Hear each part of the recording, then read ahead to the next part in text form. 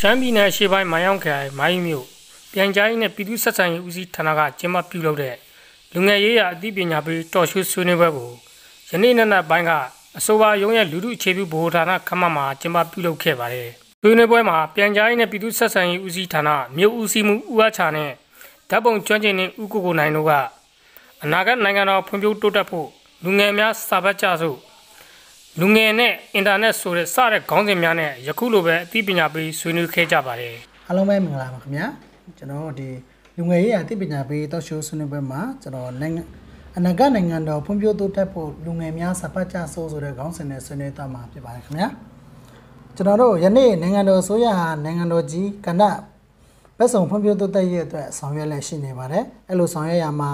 အနာဂတ်မြန်မာနိုင်ငံကိုပခုံးလွှဲပြောင်းတောင်းထမ်းဆောင်ကြမဲ့ကျွန်တော်တို့ဒီလူငယ်လူရွယ်များဟာဗလာငန်းတန်ဖွံ့ဖြိုးရေးကျွန်တော်အမအမှန်ကိုဝေဖန်ပိုင်းခြားဆင်ခြင်ဆုံးဖြတ်နိုင်ရေးအမိနိုင်ငံတော်ကိုတန်ဖိုးထားချစ်မြတ်နိုးရဲ့ဖွံ့ဖြိုးတိုးတက်အောင်ကြိုးပမ်းရေးအတွက်ဖက်ဖက်ကဆောင်ရွက်လက်ရှိရာမှာလူငယ်များဟာစာပေလေ့လာဖတ်ရှုပြီးဘ ഹു တုတကြွယ်ဝစေဖို့အတွက်စာပေများဖတ်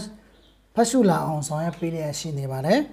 လူငယ်တွေစာဖတ်ဖို့လိုပါတယ်စာဖတ်ရင်စိတ်ခွန်အားတွေလည်းရပါတယ် ပြီးတော့ကျွန်တော်တို့နီလန်းလည်းရတယ်တွေးခေါ်စရာတွေလည်းအများကြီးဖြစ်တယ်အဲ့ဒီတော့စာဖတ်ဖို့လိုအပ်တယ်လို့ထင်ပါတယ်လူတိုင်းအင်တာနက်မသုံးနိုင်တော့မှအင်တာနက်မှာပါတဲ့အကြောင်းအရာတွေအတော်များများဟာဂျာနယ်ထဲမှာပါလေးရှိပါတယ်အဲ့ဒီတော့စာကောင်းပေကောင်းတွေဖတ်ဖတ်နိုင်ဖို့ဆိုရင်အခွင့်အရေးတွေလည်းအများကြီးရှိလာမှာဖြစ်ပါတယ် အဲကြောင့်မလို့ဒီ internet မှာပါတဲ့အကြောင်းအရာတွေလည်းကျွန်တော် journal တွေစာဆောင်တွေမှာဖတ်ရှုနိုင်တာဖြစ်ပါတယ်။ဒါကြောင့်မလို့လူငယ်တွေအနေနဲ့ internet ကိုပဲသုံးမှာမဟုတ်ဘဲနဲ့ဒီ internet ကိုအကျိုးချစွာသုံးတယ်လို့မျိုးပဲစာအုပ်စာပေတွေလည်းဖတ်ရှုဖို့လိုအပ်မှာဖြစ်ပါတယ်။စာပေဟာအကျိုးအကြောင်းအစိုးရကောင်းတွေကိုဝေဖန်ပန်းချနိုင်စွမ်းရှိအောင်တမကလူတဦးချင်းရဲ့ဘဝတိုးတက်အောင်မြင်ရတဲ့လည်းလမ်းပြလျက်ဖြစ်ပါတယ်။ယနေ့ကမ္ဘာနိုင်ငံတည်တည်မှာနိုင်ငံကောင်းဆောင်တွေကစပတ်ကြတယ်တွေးတော့ကြာဆကြတာကိုတွေ့ရမှာဖြစ်ပါတယ်။နိုင်ငံတော်ဖွံ့ဖြိုးတိုးတက်အောင်ကောင်းဆုံး ဖြစ်နိုင်စွမ်းရှိသောမူဝါဒကိုလည်းချမှတ်နေကြတာဖြစ်ပါတယ်။အဲ့ဒီမှာစာဖတ်ခဲ့ခြင်းအကျိုးကျေးဇူးပင်မဟုတ်ပါလား။ဒါကြောင့်စာပေဖတ်တိုးတက်သောနိုင်ငံတိုင်းဟာစာစာဖတ်တယ်လို့တိုးတက်သောလူမျိုးတွေကလည်းစာဖတ်တာဖြစ်ပါတယ်။ဆိုရရင်ယနေ့မြန်မာနိုင်ငံတော်၏အနာဂတ်ခီးစဉ်အတွက်လူငယ်များအသိပညာဘ ഹു တုတကျော်ဝလာအောင်စာဖတ်ကြရပေမည်။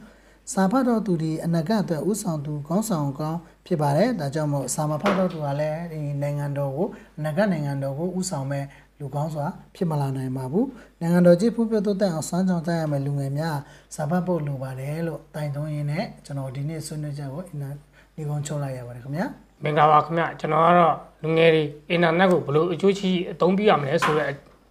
အရာကိုလူငယ်နဲ့အင်တာနက်ခေါင်းစဉ်ဖြင့်ကျွန်တော်ပြောကြားပေးသွားမှာဖြစ်ပါတယ်။မိတ်ဆွေများအနေဖြင့်ယနေ့တိုးတက်နေတဲ့ခေတ်ကြီးမှာဤပညာတွေအမကန်အလီလီပြောင်းလဲတိုးတက်နေလာပါပြီ။လူငယ်တွေစိတ်ဝင်စားလာအောင် လူတွေရဲ့အကြိုက်ကိုတီးပြီးတော့နီးမျိုးမျိုးဖြစ်မိမိတို့ဖတ်ပါအောင်ဆွဲဆောင်နေကြပါတယ်ယခုဆိုရင်တယ်လီဖုန်းတစ်လုံးကိုနီးမျိုးစုံသုံးပြီးတော့တစ်ကဘာလုံးကိုဆက်သွယ်လို့အလုပ်လုပ်လို့ရနေပါပြီကွန်ပျူတာတစ်လုံးကိုအင်တာနက်နဲ့ချိတ်ဆက်ပြီးတော့ကဘာကြီးအကြောင်းကိုမိနစ်ပိုင်းအတွင်းမှာသိရှိနိုင်တဲ့ခေတ်ကြီးပါအင်တာနက်ဟာကဘာကြီးကိုပကံပြားပေါ်မှာပလက်လှန်ချပြထားတဲ့ကဲ့သို့ထင်ထင်ရှားရှားမြင်နိုင်ခဲ့ပါပြီကဘာအရဲရဲမှာရှိတဲ့မိမိ ချစ်ခင်သူတွေမိမိမိတ်ဆွေတွေမိဘတွေညီအကိုမောင်နှမတွေကို email Facebook Viber တို့ဖြင့်လွယ်လင်းတကူဆက်သွယ်ပြောဆိုလို့ရနေပါပြီ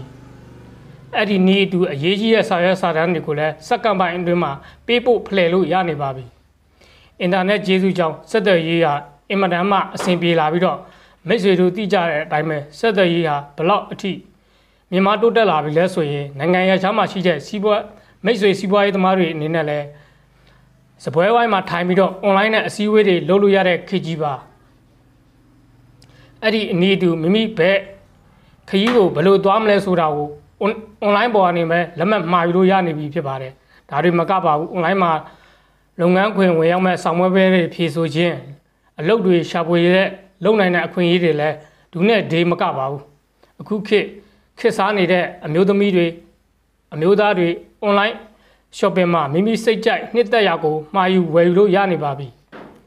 အင်တာနက်တွေကိုအသုံးပြုခြင်းအပြင်မိမိရဲ့ဘဝတိုးတက်ရာတိုးတက်ကြောင်းရှာဖွေဖန်တူးတွေတူတွေလည်းရှိတယ်လို့အင်တာနက်ကပေးတဲ့အခွင့်အရေးတွေကိုလည်းအလွဲသုံးစားပြုလုပ်သူတွေလည်းရှိပါတယ်ဤပညာတွေကိုတန်ဖိုးရှိရှိမိတ်ဆွေပမာအသုံးပြုအသုံးချတတ်ကြပါစေမိဘဝကိုမြင့်တင်ပြီးအဖိုးတန်အတိတ်ပဲရှိတဲ့အောင်မြင်သူတယောက်လူငယ်တစ်ယောက်ဖြစ်အောင်ကြိုးစားပါ မိမိမှရှိတဲ့အရေးချင်းတွေအခွင့်အလမ်းတွေပေါ်မှာအခွင့်အရေးယူတတ်ပါစေအင်တာနက်ကိုလူဒီထက်အချိန်ကုန်ငွေကုန်သုံးစွဲခြင်းကြောင့်အကျိုးရုပ်စေတဲ့အပြင်ဆိုးရုပ်ခြင်းဘက်ကိုလည်းဥတီသွားတတ်ပါတယ်တခါတလေလူငယ်တွေဖြစ်လေဖြစ်သားရှိတဲ့အရာကတော့စိတ်ညစ်စိတ်တက်ကြတဲ့အခါမှာအခက်အခဲတွေနဲ့ရင်ဆိုင်ရတဲ့အချိန်တွေမှာဆိုရင်အချို့အခွင့်အရေးတွေကိုလည်းအလွဲသုံးစားပြုလုပ်တတ်ကြပါတယ်အလွန်ကြုံမအိပ်မနေ မစားမတော့ပဲလိုင်းအသုံးပြုပြီးတော့လိုင်းအသုံးပြုခြင်းအဆိုရင်စိတ်မမှန်ခြင်းကိုဖြစ်ပေါ်စေပါတယ်မီဒီယာရဲ့သားကောင်လည်းဖြစ်သွားတတ်ပါတယ်အဲ့ဒါအပြင်အချိန်ကုန်ငွေကုန်လူပင်မှန်းပြီးတော့မိမိအလုပ်တာဝန်မှာလည်းလိဟင်းမှုဖြစ်ပါဖြစ်လာစေတတ်ပါတယ်လူငယ်များတို့အခွင့်အရေးဆိုတာအမိအယအကျိုးရှိရှိအသုံးချသူများအတွက်သာထိုက်တန်ပါတယ်ရရှိတဲ့အခွင့်အရေးတိုင်းကိုအတိတရားတစ်ခုနဲ့ထိန်းချုပ်ထားပါ အတိတရားမရှိရင်တတိတတိတရားမရှိရင်အတိတရားကိုလည်းကွယ်ပြောက်သွားတတ်ပါတယ်အထူးသဖြင့်အင်တာနက်အသုံးပြုတဲ့နေရာမှာပါမိမိတို့ရရှိတဲ့အခွင့်အရေးတွေကိုအတိတရားနဲ့တန်ဖိုးထားအသုံးပြုခြင်းဖြင့်မိမိတို့ဘဝတိုးတက်အောင်တည်ဆောက်နိုင်မှာဖြစ်ပါတယ်တိုးတက်လာတဲ့အင်တာနက်ဆက်သွယ်မှုအပေါ်မှာဘယ်လိုဘယ်ပုံဘယ်နည်းတွေနဲ့အသုံးပြုကြမလဲဆိုတာကိုပြန်လည်သုံးသပ်ကြည့်ကြပါ တန်ဖိုးရှိတဲ့အချိန်အခွင့်အရေးတွေကိုအကျိုးရှိရှိအသုံးချကြမလားဆိုတာကိုမိမိတို့ကိုယ်တိုင်အသိဆုံးဖြစ်မှာပါအခွင့်အရေးတွေကိုအကျိုးဖြစ်စေမဲ့အရာတွေအတွက်သာအသုံးအချိန်ကိုအသုံးပြုပါလူငယ်တို့ဘဝမှာအရေးပါတဲ့အခွင့်အရေးများကိုဆုံးရှုံးမခံကြပါနဲ့ဒါကြောင့်မိတ်ဆွေလူငယ်များကလည်းမိမိတို့ရည်မှန်းထားတဲ့ပန်းတိုင်အရောက်လှမ်းနိုင်ဖို့အတွက်မိမိတို့ရရှိထားတဲ့အခွင့်အရေးများကိုအကျိုးရှိရှိအသုံးပြုရှင်သန်နိုင်ကြပါစေလို့ ဆန္ဒပြုရင်ဒီအပတ်လူငယ်နဲ့အင်တာနက်ဆိုတဲ့အစီအစဉ်လေးကိုတင်ဆက်ပေးလိုက်ရပါတယ်ခင်ဗျာ။ဒီရိုက်ကူပေးဖို့သူကျွန်တော်ကိုကိုနိုင်ပါ